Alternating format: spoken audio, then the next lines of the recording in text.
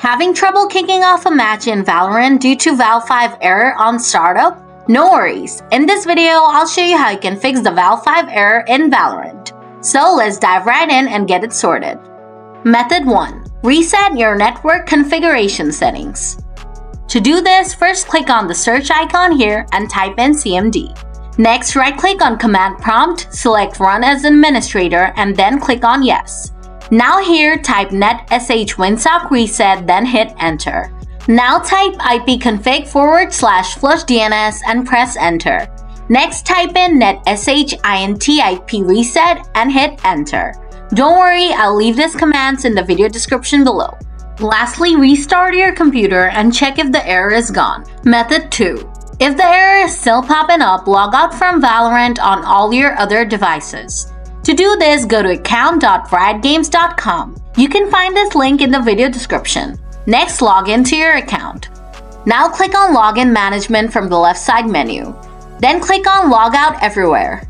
And lastly, click on Confirm. Now open up Riot Client and log in. Then check if you can fire up Valorant without getting this error. Method 3. If you're still getting the error, try changing your DNS server to an optimized one. To do this, open up command prompt again. Now type ping 1.1.1.1 here and press enter. This will give you the minimum, maximum, and average ping of this DNS server. Next type ping 8.8.8.8 and press enter. And this will give you the minimum, maximum, and average ping of this DNS server.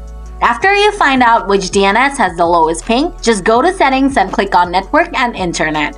Then on ethernet and click on the edit button next to the DNS server assignment. Now select manual from here and then turn on IPv4 if it's turned off. Now on the preferred DNS box at the DNS server with the lowest ping.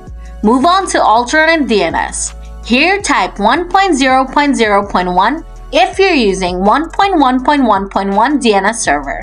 But if you're using 8.8.8.8, type 8.8.4.4. Lastly, click Save. Now you should be able to play Valorant without this error. So that's how you solve the Val 5 error in Valorant. If the video did the trick for you, don't forget to hit the like button. And if you still have any questions, feel free to leave them in the comments and I'll reply to you soon. Thanks for watching!